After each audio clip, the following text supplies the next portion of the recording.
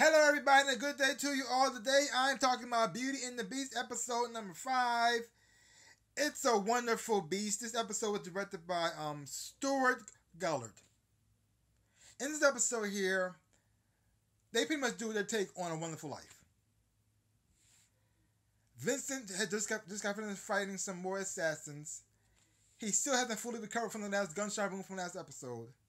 He's still healing from that and he's seeing Catherine and he's seeing how her life how her life is. He's thinking to himself, maybe your life would be better off if you never met me.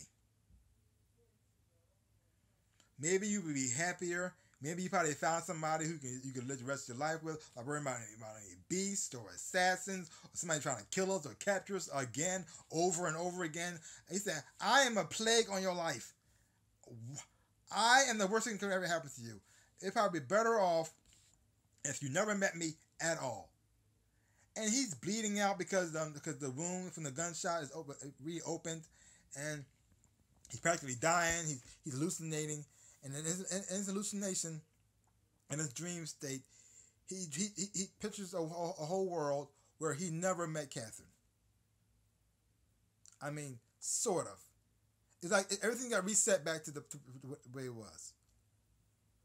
But through this, he realizes that Catherine and himself pretty much need each other. Because both of them are broken. Because Catherine, even though she didn't marry Vincent or become a couple, he still did save her in the woods. That part still happened.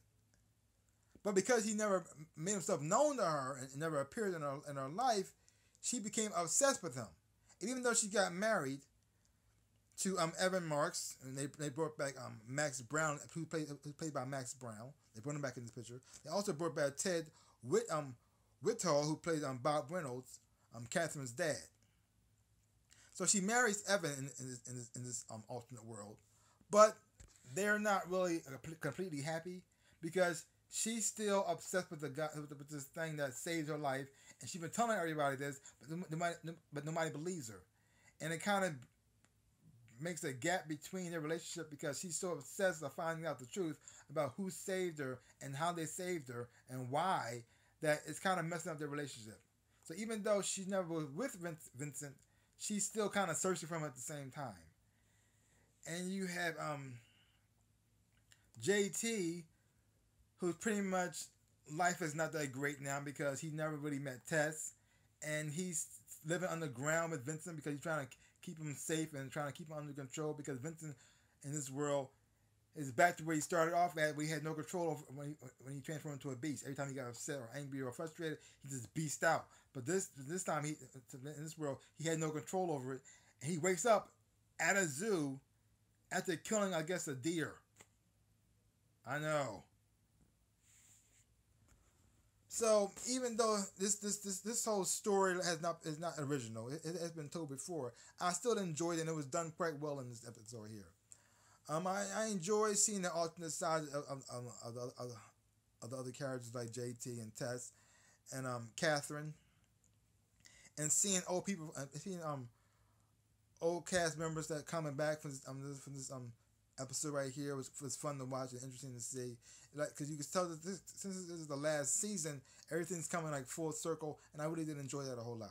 And even though this this, this story is not original, it was still fun and enjoyable to watch. So leave your comments down below. Let me know what you thought about this episode of Beauty and the Beast. And are you enjoying this season so far? Are you enjoying how it's um, how it's ending? Leave your comments down below. And if you haven't been watching it, so check it out for yourself. Don't take my word for it. Hopefully you will enjoy it and have a whole lot of fun watching it. Well, that's all I gotta say about that. So give my channel a big like and thumbs up. Boom. And subscribe to my channel and share. I really would appreciate it. Like I always say, in my dreams and real life, I am the Ninja Rabbit. A peace out, uh, peoples.